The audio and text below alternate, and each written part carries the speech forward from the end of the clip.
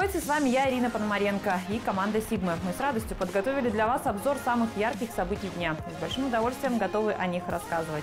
Устраивайтесь с максимальным комфортом. Мы начинаем. Победный 2020 год для нас, россиян, будет годом памяти и славы. Владимир Путин подписал соответствующий указ. В целях сохранения исторической памяти и вознаменования 75-летия победы в Великой Отечественной войне.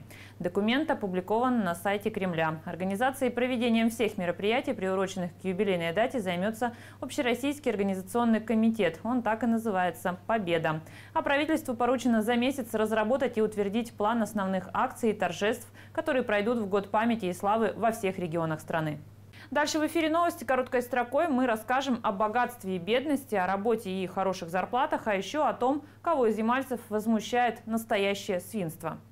В России самый высокий уровень дохода зафиксирован у жителей Ямало-Ненецкого, Ненецкого и Чукотского автономных округов. А вот скромнее всего живут в Тыве, Калмыкии и на Алтае. При этом доля населения, которая находится за чертой бедности, выше в Якутии, Красноярском крае и на Камчатке, за чертой крайней бедности в Тыве и Ингушетии. Для исследования взяли соотношение среднедушевых доходов населения в месяц к стоимости фиксированного набора товаров и услуг в каждом регионе в 2018 году. Подробности и инфографику ищите на нашем сайте НУР-24. Кому в России труднее устроиться на работу? Самые большие сложности у начинающих специалистов без опыта. Таких резюме 9 на одну вакансию. Почти так же сложно искать работу юристам, журналистам и топ-менеджерам. От них приходит по 7-10 резюме на место. А вот представители рабочих специальностей и IT-специалисты очень востребованы. На одну вакансию претендуют полтора и два с половиной резюме соответственно. Зарплату им готовы предложить от 110 до 140 тысяч рублей в месяц. В Лабытнанге на одной из детских площадок гуляют вовсе не дети. Очевидец разместил ВКонтакте фото, которое не оставило равнодушным жителей города. На снимке пять свиней, которые вполне комфортно устроились в игровой зоне. Пользователи тут же отреагировали на такой поросячий досуг. Они пишут «Свинство какое-то. У нас во дворе детям играть негде, а этих никто не контролирует. Обидно как-то». И вот еще цитата. «У нас настолько богатый регион, что даже для свиней строят площадки». Яхта «Сибирь», которая отправилась в кругосветное путешествие из Омска, сделает остановку в Салихарде. Судно покорит четыре океана. Отважные мореплаватели намерены преодолеть 45 тысяч миль и зайдут в 40 с лишним портов. В походе они пробудут 15 месяцев. Возвращение домой запланировано на октябрь 2020 года. Наталья Риховских, телерадиокомпания «Сигма» для НУР-24. И еще одна новость короткой строкой. 9 июля исполнилось 15 лет Тюменской матрешки. В этот день был подписан договор между Тюменской областью, ХМАО и ЯНАУ. Тогда свои подписи в документе поставили руководители регионов Сергей Собянин от Тюменской области, Юрий Ниелов от Ямала и Александр Филипенко от Югры. Этот договор позволил области получить колоссальное развитие, а округам дал полную самостоятельность и продолжение развития. Действует множество программ – жилищные, медицинские, дорожно-транспортные и другие, которые дают всевозможные преференции преференции жителям трех регионов.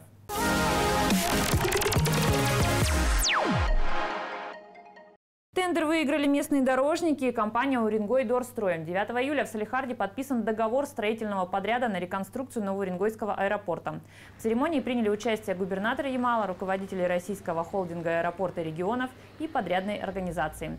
Уникальность события в том, что это первый в России проект развития инфраструктуры воздушного терминала по закону о концессионных соглашениях.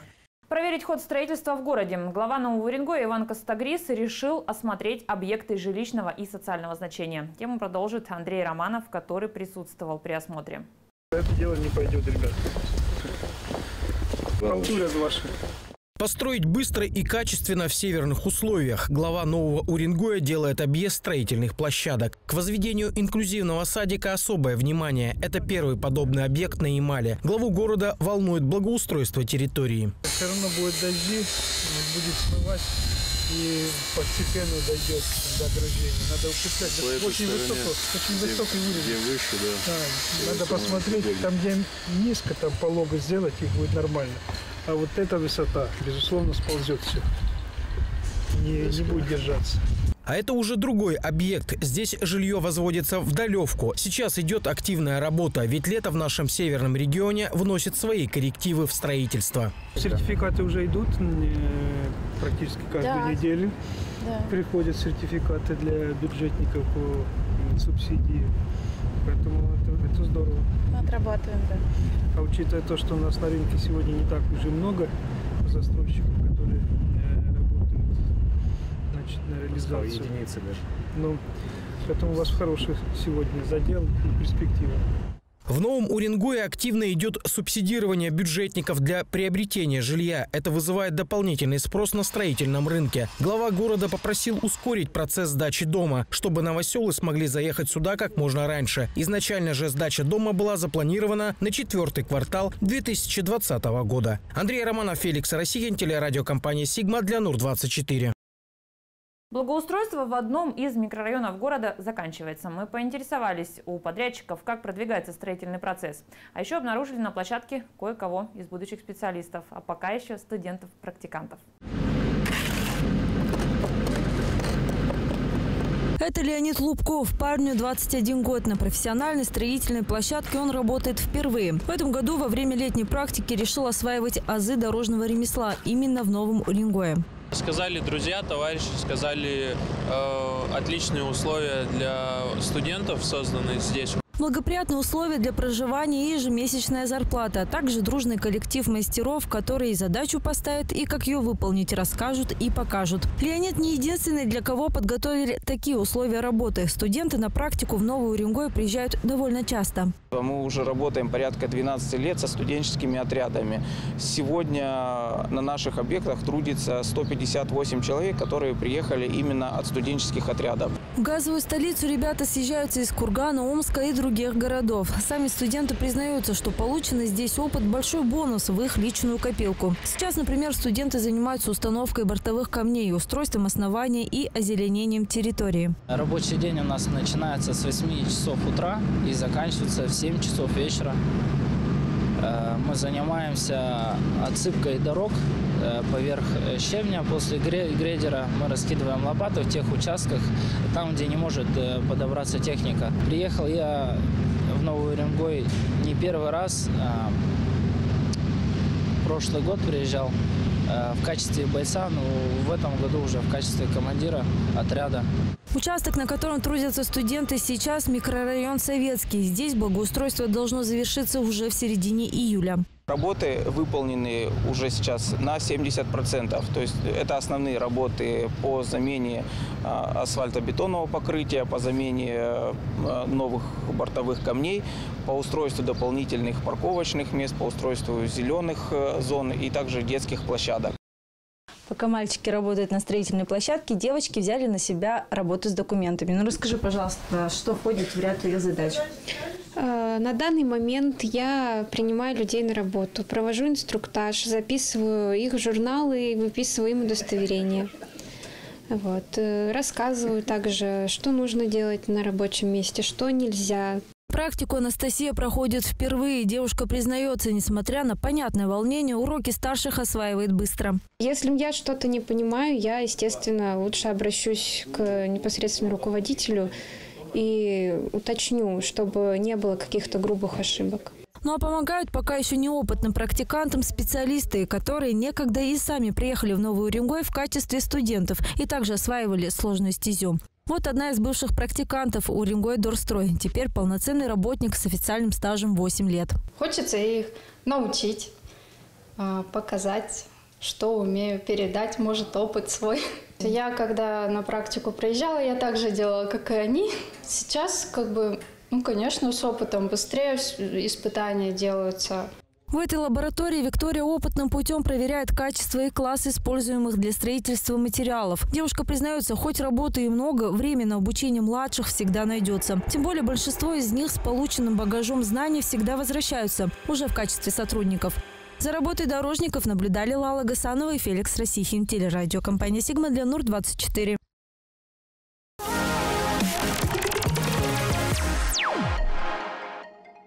Лейле Мухтаровой снова нужна помощь. Уже больше года продолжается лечение онкобольной девочки из Нового Уренгоя. Сейчас она вместе с родителями находится в Израиле.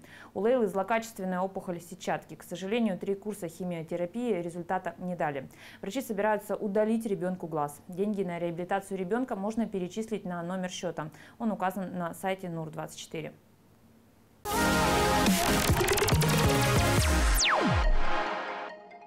Ну что, жара на улице спала, а вот накал страстей по поводу предложения жительницы Нового Уренгоя не утихает. Она предлагает на законодательном уровне ввести стихийные выходные в те дни, когда на севере плюс 30 и выше.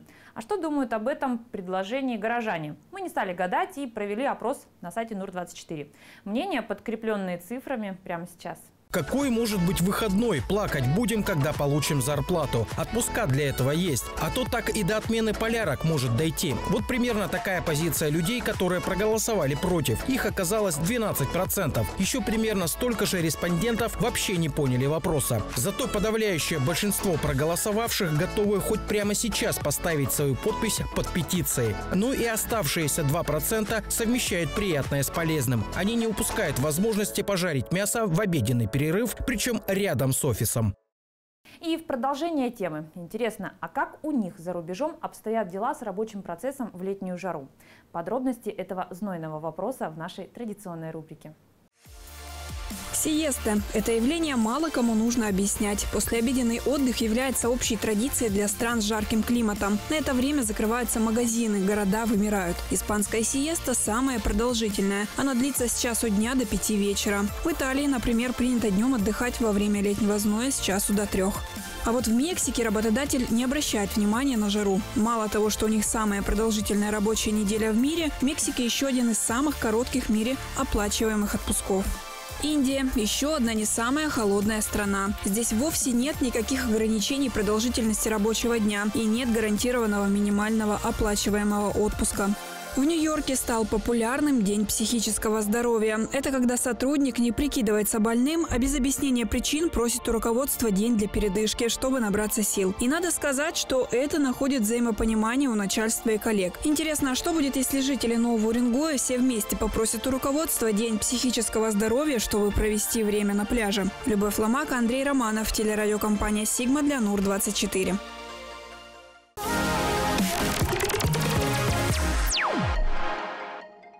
Владимир Путин поздравил волейболистов Вячеслава Красильникова и Олега Стояновского с победой на чемпионате мира по пляжному волейболу, который проходил в Германии. Вот что говорится в поздравлении президента, цитирую. «Вы на отлично выступили в Гамбурге и продемонстрировали по-настоящему лидерский характер и мастерство. И, конечно же, ваш успех – это весомый вклад в развитие и популяризацию этого зрелищного вида спорта в нашей стране. Желаю вам новых достижений и всего наилучшего». Конец цитаты. Напомню, ямальские пляжники Красильников и Стояновский выиграли чемпионат мира. В финале российский дуэт взял верх над хозяевами соревнований. Победа на турнире помогла сборной России получить лицензию на Олимпийские игры 2020 года. Под Новым Уренгоем прошел Турфест. Любители спорта и здорового образа жизни соревновались в туристических дисциплинах. А это не только полоса препятствий, но и традиционные песни под гитару. С участниками отправилась в тундру и наша съемочная группа. Раз, два, три. Внимание! Двое суток в тундре. Турфест в этом году собрал 8 команд. Всего около 120 человек. Его организаторы – сотрудники завода по подготовке конденсата к транспорту. Они любят арктическую природу и активный отдых. А 35 лет назад в подобных условиях жили и работали первые заводчане. Сейчас же умение обустраивать быт среди тундры – дань памяти первым тяжелым годам освоения этой земли. Тяжело ночь было здесь провести? Да нет, в принципе, нормально. Тем более, ну, я думаю, есть только тяжело из-за того, что э, солнце не заходит, и как бы не можешь ты уснуть в палатке. Только это, наверное, как сложно.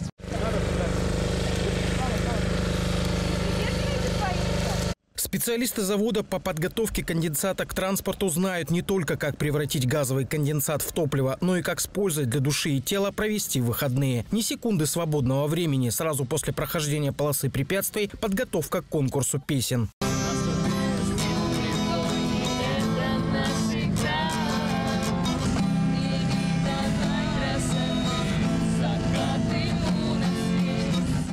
Фишка команды предприятия-организатора – это сплоченность. Туристы всегда привозят на турфест своих детей. Как тебе здесь? Классно. А что особенно понравилось? Все. Все, особенно еда? С погодой повезло. Ветер не давал разгуляться комарам, хотя они не оставляли попыток атаковать туристов. Это все уже не замечается, когда ты активно, когда ты бегаешь, и у нас у каждого есть в команде свое задание. В общем, это все становится второстепенным. По традиции туристический фестиваль собирает дочерняя организация «Газпрома» из Нового Уренгоя. В этом году впервые в турфесте принимает участие команда администрации «Газпром Переработка». Для сотрудников предприятия такие редкие встречи очень важны. Ничто не заменит личное знакомство. При личном знакомстве налаживаются, устанавливаются связи, которые в будущем, а, как нам очень помогают решать производственные вопросы, да и ну, не только производство, любые вопросы. Еще одна команда, которая в этом году открыла для себя туристический фестиваль, это представители одной из коммунальных компаний города. Правком организации узнал о проведении фестиваля, и сотрудники решили участвовать. Организация отличная, э, люди приветливые, хоть, ну, хорошее настроение, все как бы за позитивный отдых, улыбаются, общаются, шутки шутят. э, Как бы отношение к природе хорошее, не мусорят. Тимбилдинг – игра на сплочение. Тут важна командная работа, и это поможет при решении производственных задач. Еще одна особенность Турфеста – отношение к экологии. После проведения фестиваля команда не только убирают территорию лагеря, но и близлежащие места. А в следующем году молодежь завода по подготовке конденсата к транспорту отправится в тундру вместе с другими командами, чтобы вновь испытать свои силы. Андрей Романов, Владимир Гайнза, телерадиокомпания «Сигма» для НУР-24. Это все, о чем мы успеваем вам рассказать. Дальше в нашем эфире хроника преступлений и происшествий в программе «Патруль». А я с вами прощаюсь. Пока и до встречи в эфире.